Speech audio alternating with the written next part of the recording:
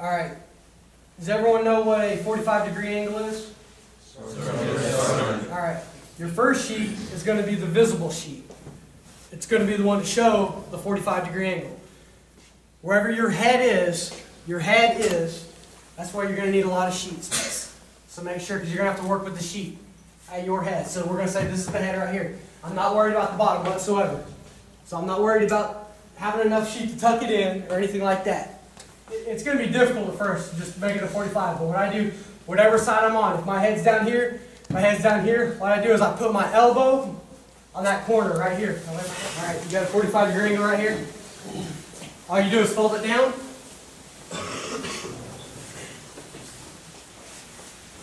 Fold it down, tuck it in.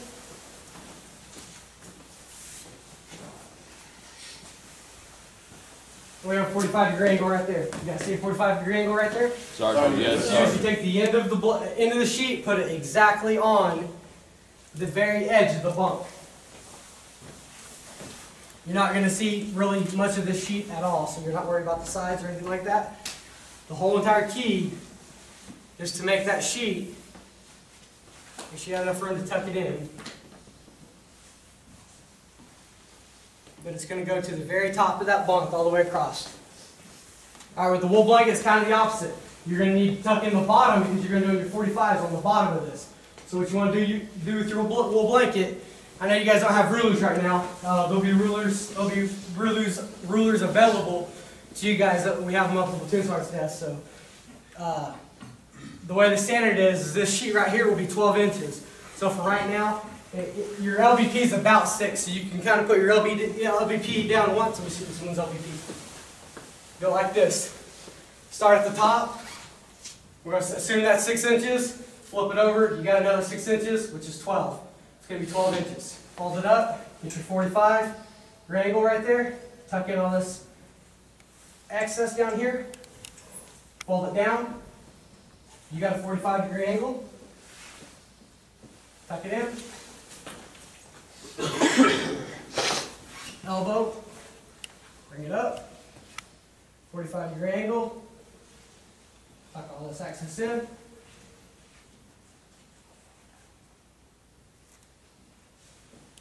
Hold it down.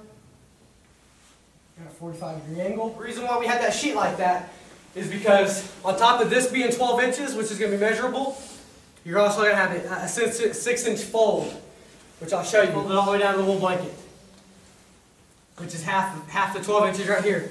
And then you fold it over again.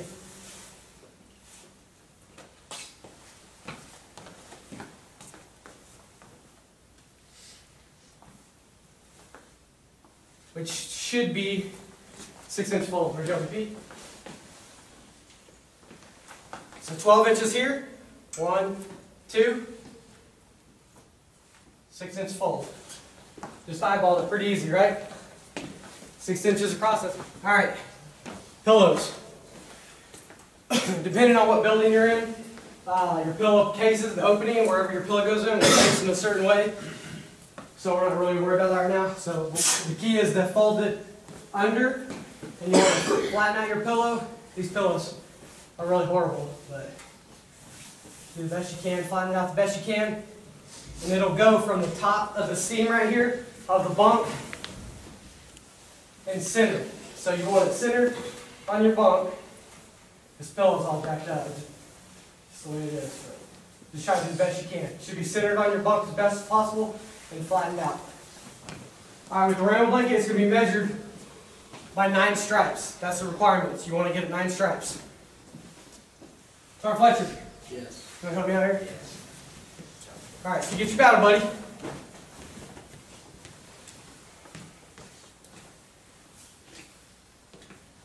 In half.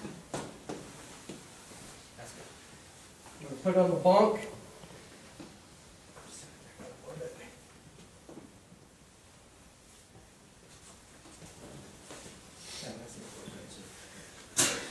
Teamwork is the key. How about your battle buddy? You guys work together, you want your bunk.